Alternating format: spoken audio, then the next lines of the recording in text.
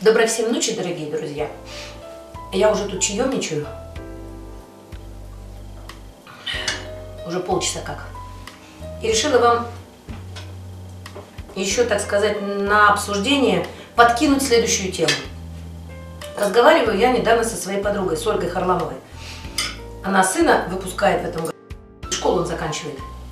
А мы с ней ля-ля-ля-ля-ля-ля, и вдруг она мне говорит, или я у нее спросила, говорю, Оль, а о какой сумме-то речь идет? Что вас, с вас там это, что там собираете на выпускной?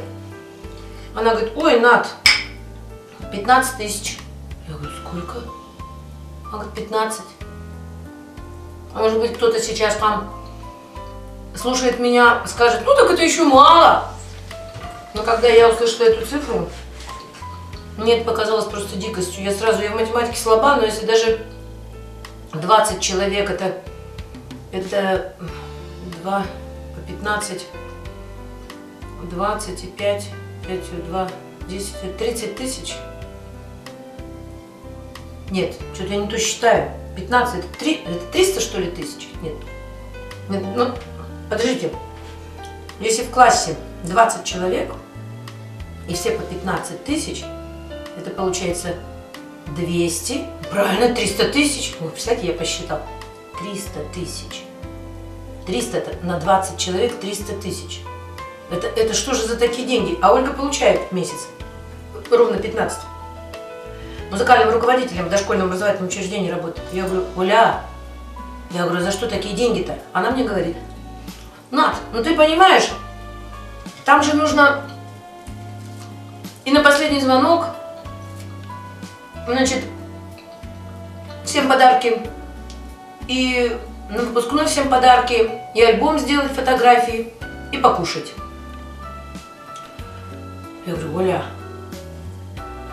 может, я действительно отстала от жизни. Мои дети учились давным-давно, и школу закончили моим уже 34 и 30, двум сыновьям. Может, я так отстала от жизни. Но я хочу вам сказать, что я никогда в школу не принесла ни рубля. Вы можете мне не верить, это ваше личное дело, но когда дети приносили дневник, но там было написано «сдать на краску», «сдать на, этого, на охранника», «сдать там на ремонт еще там что-то там парты», ну, в общем, все время сдать, все время сдать, сдать, сдать. Я под этой надписью Э, ну, то, что записано там было, я расписывалась всегда. Но никакой, никаких денег не давала. Дети, конечно, мне расстраивались. Мама! Учительница опять скажет, вот, почему не даете?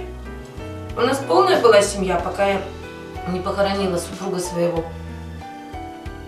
Но уже его когда не стало, они еще учились в школе.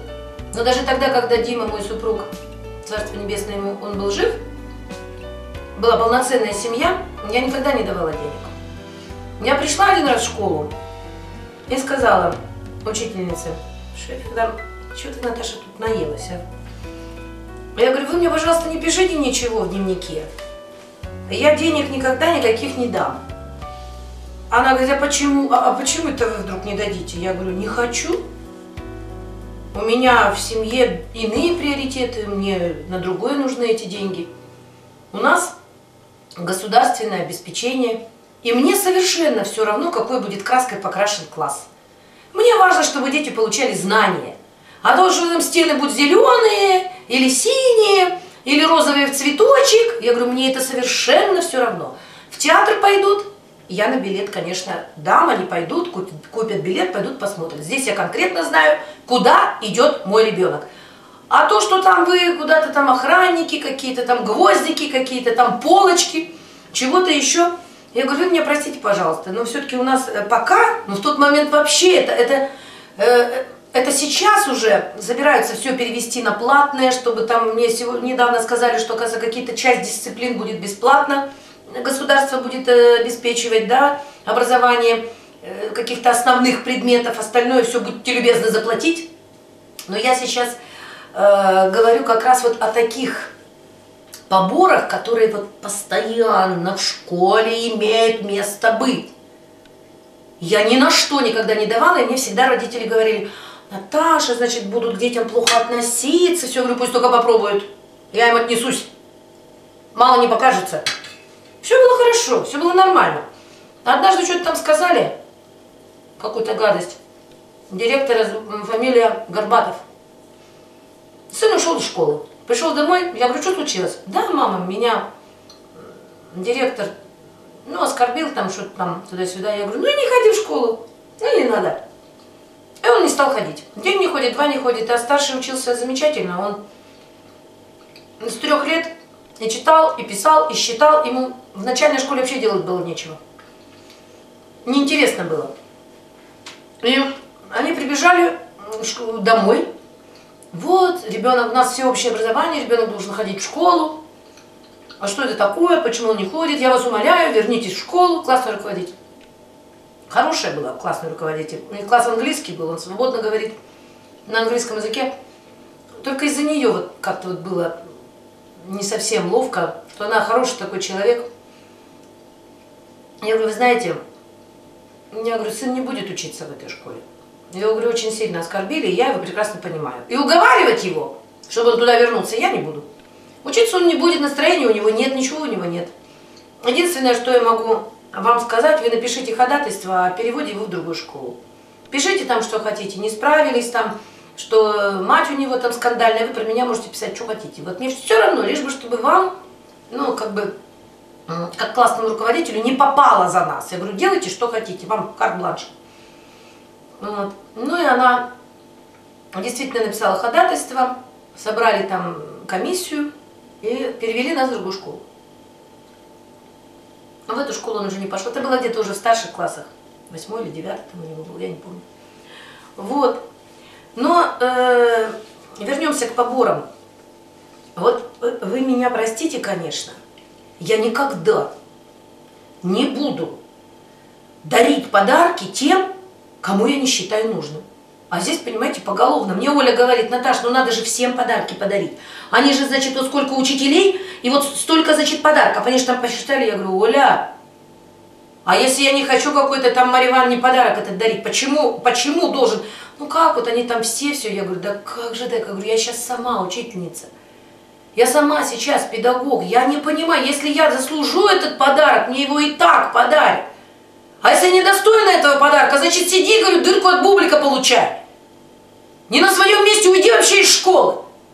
Мне не надо будет, понимаете, я сама приду и подарю этот подарок, сама его куплю. Не какой-то ширпотреб, который там всем там все туда-сюда. Я очень люблю покупать подарки, дарить эти подарки, э, делать их необычными, упаковывать что-то, понимаете, вот такое вот все чтобы это действительно запомнился подарок педагогу, что вот у меня был вот такой ученик, и вот они с мамой подошли ко мне, поблагодарили и подарили мне вот этот подарок. Но ну, что это за, за конвейер за такой? Со всех по 15 тысяч содрали и всем, всем, всем, всем, всем, всем, всем подарки. Не понимаю я таких дел, вообще не понимаю. А на свой выпускной, вот лично мой выпускной школы, вообще не пошла. Мне двойку поставили по физике. Я сначала сдала на трояк, а потом Харкина вернулась, она выходила из класса, говорит, а что, Шарапова уже сдала, что ли? А другим там педагоги были, но я и сдала, пока ее нет. А она вернулась и давай мне, а пускай она еще мне сдает. Я говорю, это с чего это? Мне поставили тройку, я на тройку сдала вашу физику. Нет, ты будешь мне сдавать, она такая вся. Я говорю, ну ладно. Села, естественно, она мне двойку нарисовала. Она меня там завалила по полной программе. Я говорю, ну и хорошо. И ушла домой. А весь выпускной был на мне на маме, на папе. Там и музыка, и столы, и, и культурная программа. Ну, ко мне пришел завуч, говорит, Наташа, ну что же праздник, это, я говорю, ничего не знаю, я сдала на три. Я говорю, ничего не знаю. Я говорю, пускай мне ставят тройку, не пойду никуда пересдавать. Да и пофиг мне ваш вечер. Ставьте два в этот самый в аттестат. Ой, я не знаю. У меня какое-то было всегда такое спокойствие в этом отношении. Может быть, я тогда не была верующим человеком. Э, я не знала, у нас атеистическая семья, мама про паровоз пела, там бабушка, персональные пенсионеры республиканского значения, первые комсомольцы. У нас вообще о Боге никто не говорил, понимаете, вот в семье. И я такая счастливая, когда я потом узнала о том, что лучшего образования, чем образование, которое дает нам Всевышний, образование – это приобретение мудрости, мудрости, понимаете? Вот мне ничего не надо, дайте мне мудрости, и от мудрости все остальное все решится. Все решится. И я как, как тогда вот я этого не знала, но у меня какое-то подсознание там уже, понимаете, сформировано. Я была настолько спокойна, что я в жизни и с этой двойкой в аттестате, мне не страшно, все что-то тряслись, чего-то там пересдавали, все там что-то ходили, конфетки носили, цветочки носили. Я ничего никогда никому не носила, и мама ничего не носила, я не помню такого. Никаких вот этих подмыливаний, подмазываний, ничего такого не было. И когда мои мальчишки пошли в школу, я тоже ничего подобного не делала. Ничего подобного не делала. И никаких не было проблем. Никаких. Сейчас я вам расскажу, как я однажды пришла на урок музыки. Моему старшему поставили по музыке два. Вызвали меня в школу. Я прихожу.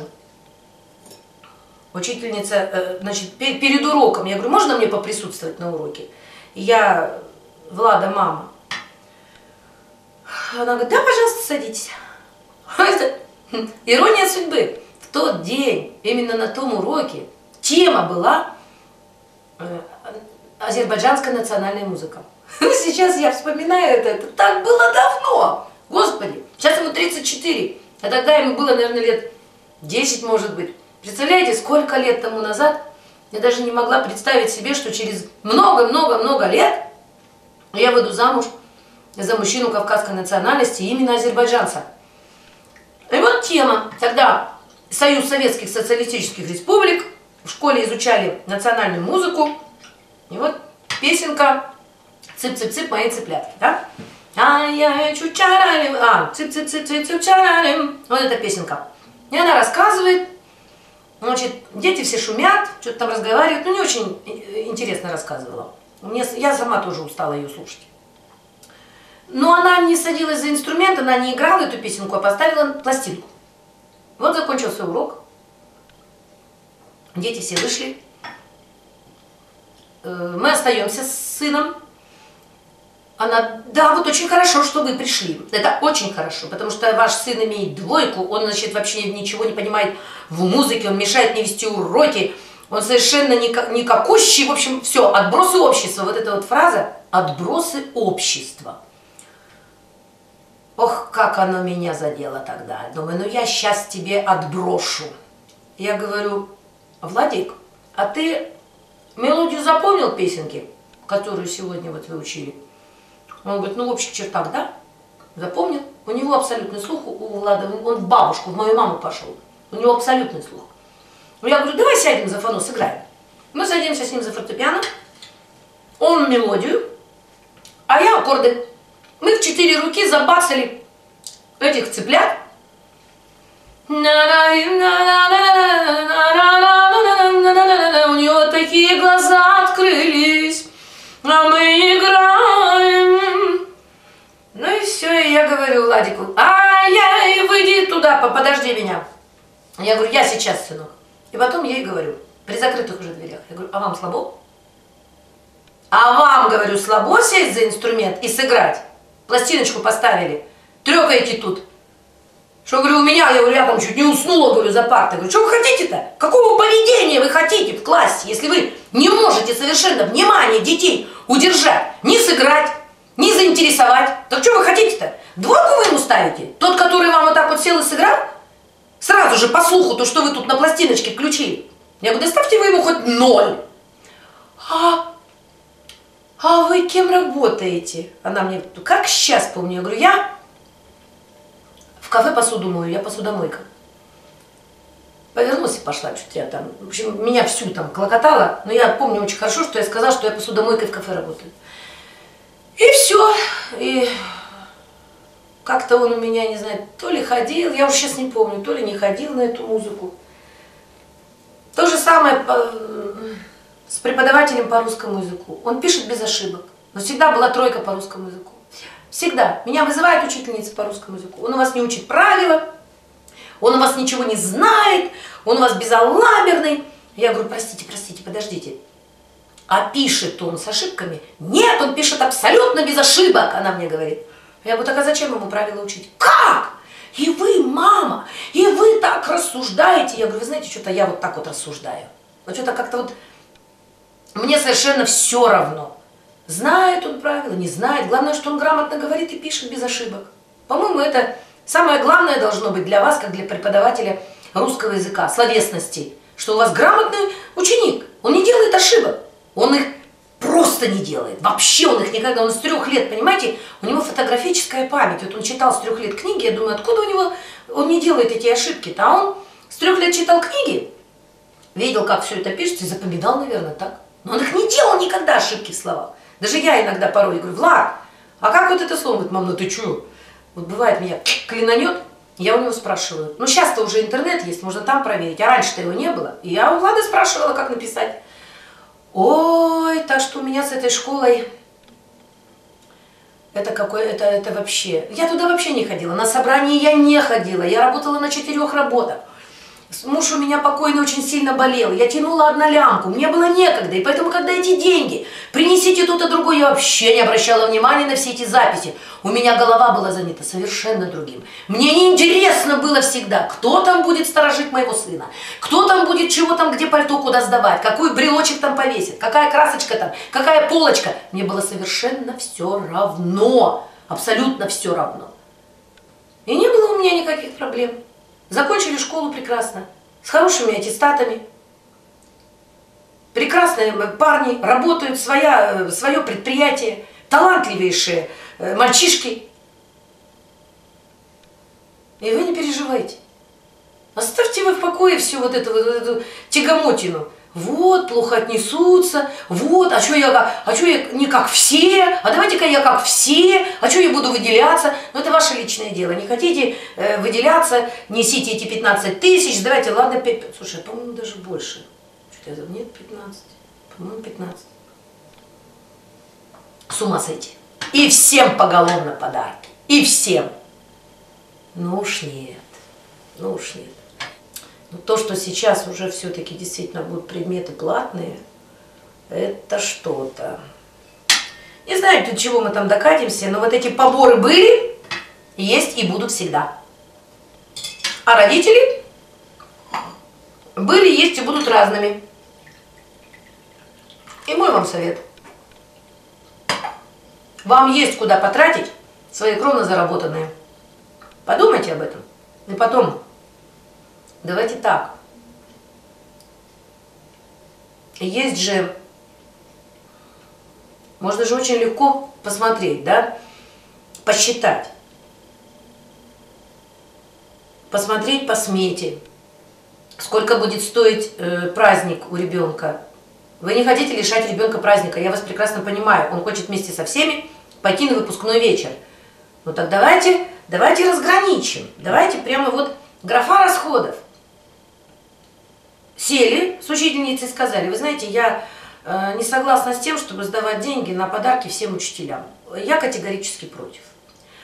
Вы можете меня осуждать, вы можете со мной не соглашаться, но это мое мнение. Вы мне, пожалуйста, э, статью расходов по конкретно выпускному э, застолью, за, по празднику, где будет культурно-развлекательная программа и где будет э, кушание, да, яство для моего сына, там, для моей дочери.